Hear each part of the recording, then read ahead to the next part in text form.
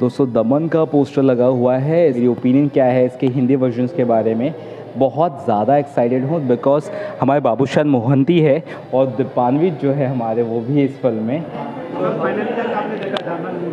Yes बहुत अच्छी है, शिक्षाप्रद मूवी है, बहुत ही है। इस तरह की नहीं, काम उनका अच्छा है।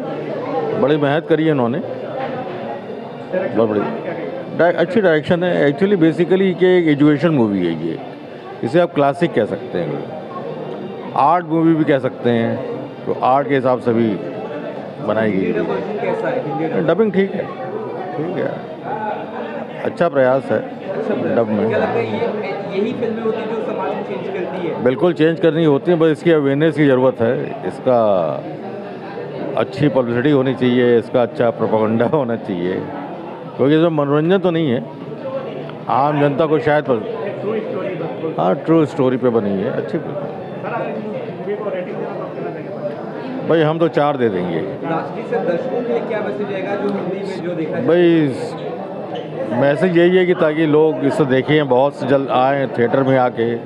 इस जो इस फ़िल्म के निर्माता निर्देशक ने जो प्रयास किया है उनके एफर्ट को सराहें। और फ़िल्म की सफलता के लिए मैं शुभकामनाएँ देना चाहता हूँ।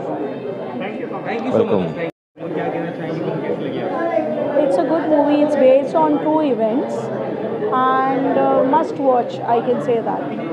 How's the Indian version of this film? It's a It's very good. You don't feel like uh, it is not a Hindi.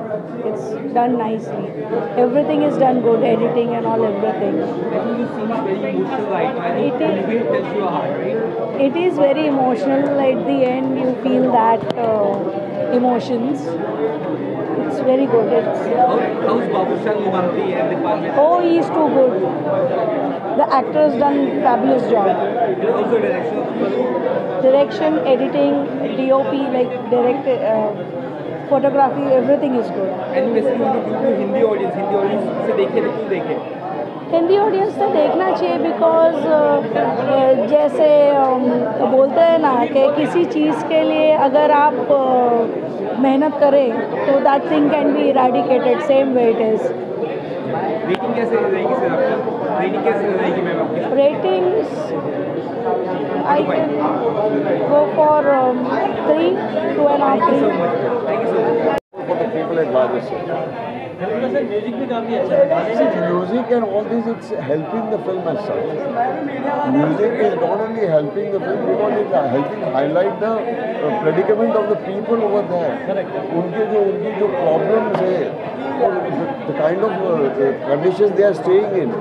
that is what it's projecting such.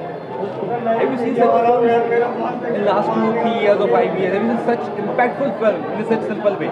See what happens कि ऐसी फ़िल्में बननी चाहिए और ये जो film बनी है ना this the need of C V C so many आज की तारीख में हम लोग कमर्शियल सिनेमा देखिए देखते हैं लेकिन इस टाइप की सिनेमा जिसके अंदर actual facts are being depicted this the need of the hour ऐसी फ़िल्में बननी ही नहीं चाहिए ऐसी फ़िल्में ज़्यादा से ज़्यादा बननी चाहिए क्योंकि there so many fact stories are such which should be taken care of this और इस फ़िल्म में जो दिखा है कि एक डॉक्टर के प्रोफेशन में एक डॉक्टर की जवाबदारी कितनी होती है। तो ये बंदा जो है आज ह्यूमैनिटेरियन ग्राउंड पे जो एक दिन टिकने वाला था वो इस उस एरिया में वो जाके तीन साल रहता है। He virtually become god for the people in those area such इससे बड़ी कोई उपलब्धि नहीं हो सकती।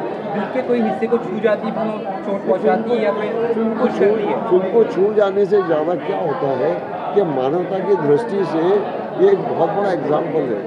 ये ऐसा ही नहीं है कि ये सिर्फ़ जंगलों में और यहाँ पे मच्छर का उपद्रव है। मलेरिया वैसे तो अभी खत्म हो चुका है सब जगह लेकिन there are still that that time Orissa में ये इशू था which was malaria driven and now it is been solve and it It has created history till date as such. Hindi version film आ रही क्या कहेंगे? आपको अच्छी लगी film? बहुत अच्छी लगी, बहुत अच्छी लगी। सी व्हाट हैपन जनरली लोग क्या करते हैं, इस टाइप की फ़िल्मों में बैठते नहीं, उन्हें लगता कि डॉक्यूमेंट्री है, ये तो होते रहता है, ऐसा नहीं ऐसा नहीं। लोगों को देखना चाहिए और चार चार लोगों ने और जाके देखना चाहिए और चालीस लोगों ने देखना चाहिए। ये अवेयरनेस क्रिएट करना बहुत ज़रूरी है। फ़िल्म का महत्व बहुत है, क्योंकि क्या होता है इट्स एन एजुकेशन ये मच्छर कोई एक एक दूसरे की बीमारी है, मच्छर के आज आज हम मुंबई में उसके एडिशनल वर्जन देखते हैं। डेंगू हो गया निमोनिया हो जाता है। क्या क्या होता है इसकी वजह से? और मलेरिया वो सच डिज़ीज़ है मलेरिया तो भी काफ़ी कंट्रोल भी हो चुका है। But this film is a very good example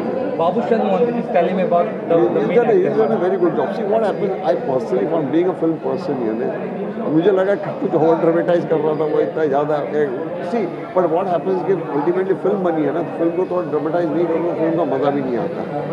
लेकिन उसने एक्चुअल जेन्यून इमोशंस दिखाए हैं।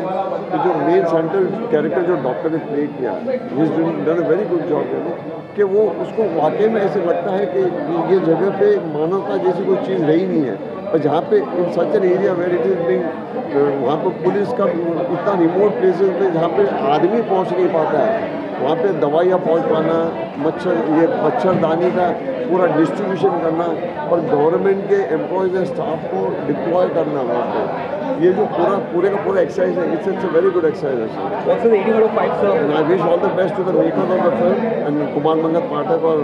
Abhishek Pathak has done a very good job. They make commercial cinema और यहाँ पर उन्होंने एक अच्छी खासी फ़िल्म को उन्होंने बैकिंग किया है I give them hats off to them and I wish that they make many more such films as such. Rating out of five, sir. Any, any rate? Four stars they did just straight away. It's a wonderful film. Wow. Wonderful Thank you film. so much, sir. Thank you. विशाल मौर्य का direction के बारे में विशाल sir बहुत अच्छा है बहुत अच्छा है भाई। एंड में हिंदी ऑडियंस को किस खास तरीके से अपील की जाए ताकि उस मूवी को देखें हिंदी ऑडियंस को क्या कहेंगे? क्या कहेगा हिंदी ऑडियंस इस बार इस फ़िल्म को देखे। मुझे लगता है कि रियल इंडिया दिखाया जा रहा है तो अच्छी बात है। फ़िल्म चलने वाली ज़्यादा आती है ऑडियंस थिएटर में तो। हिंदी डबिंग कैसी से फ़िल्म की? ठीक थी नॉर्मल मतलब थोड़ा से होता है छोटी बजट की फ़िल्म है लेकिन बहुत अच्छा है। किसी को निराश नहीं करने वाली है फ़िल्म छोटी बजट की फ़िल्म है क्या निराश है? छोटी बजट की फ़िल्म इतनी आजकल तो ओरिजिनल फ़िल्में ही चलती है। आजकल बॉलीवुड की फ़िल्में अभी बड़ी फ़िल्में चलती कहाँ है? लोग तो झूठ में थिएटर खरीद लेते हैं बड़े बड़े लोग।